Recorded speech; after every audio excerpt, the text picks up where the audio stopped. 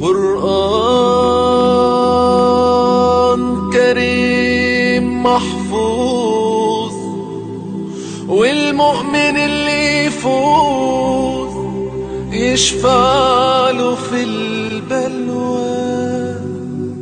اعوذ باللہ من الشیطان الرجیم، بسم اللہ الرحمن الرحیم۔ خواتین حضرات نالج فیکٹری میں خوش آمدید۔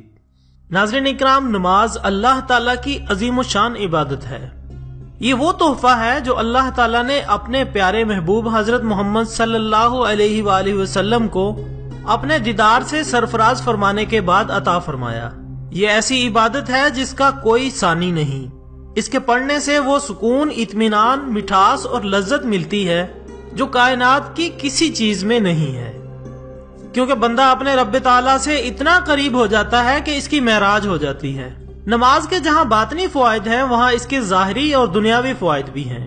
ناظرین اکرام، جدید سائنس نے یہ ثابت کیا ہے کہ نماز ایک بہترین ورزش ہے۔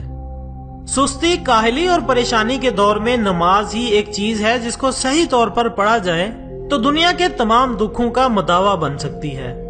نماز کی ورزشیں جہاں بیرونی اعضاء کی خوشنمائی و خوبصورتی کا ذریعہ ہیں، وہاں دل، گردے، جگر پھیپڑے دماغ آنتے میدا، ریڑھ کی ہڈی، گردن، سینہ اور تمام قسم کے گلینڈز کی نشو نما بھی کرتی ہے۔ آدمی جب ساری رات سویا رہتا ہے تو نہ صرف اس کے اعضاء سست ہو جاتے ہیں، بلکہ خون کی حرکت میں بھی کمی واقع ہو جاتی ہے۔ لیکن اللہ تعالیٰ نے انسانی جسم کی چستی و توانائی برقرار رکھنے کے لیے نماز فجر رکھ دی تاکہ بندے میں چستی پیدا ہو۔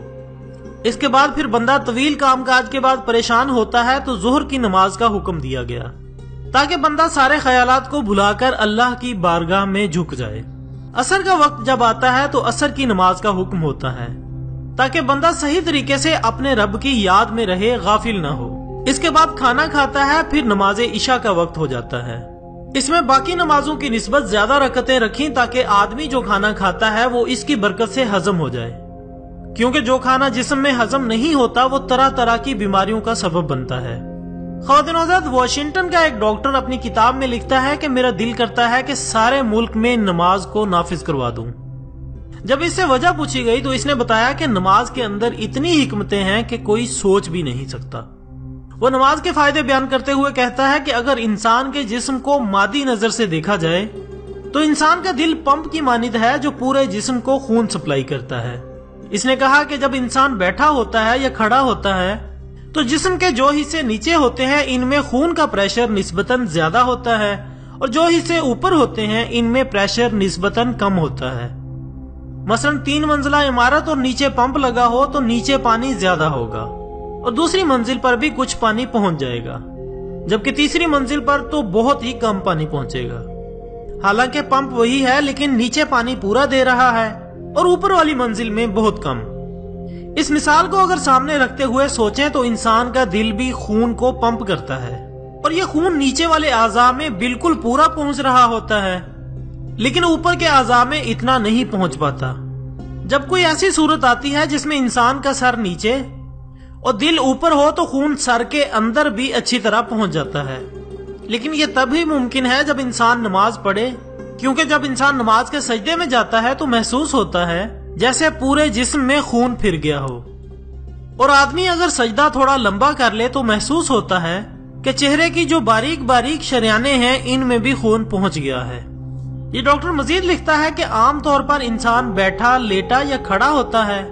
بیٹھنے، کھڑے ہونے اور لیٹنے سے انسان کا دل نیچے ہوتا ہے جبکہ سر اوپر ہوتا ہے۔ ایک ہی صورت ایسی ہوتی ہے کہ نماز میں جب انسان سجدے میں جاتا ہے تو اس کا دل اوپر ہوتا ہے اور سر نیچے ہوتا ہے۔ لہذا خون اچھی طرح چہرے کی جلد میں بھی پہنچ جاتا ہے۔ خواتین حضرات، نبی اکرم حضرت محمد صلی اللہ علیہ وآلہ وسلم کا ارشاد ہے کہ نماز نور ہے۔ اللہ تعالی ہم سب کو نماز کی پابندی کرنے کی توفیق عطا فرمائے۔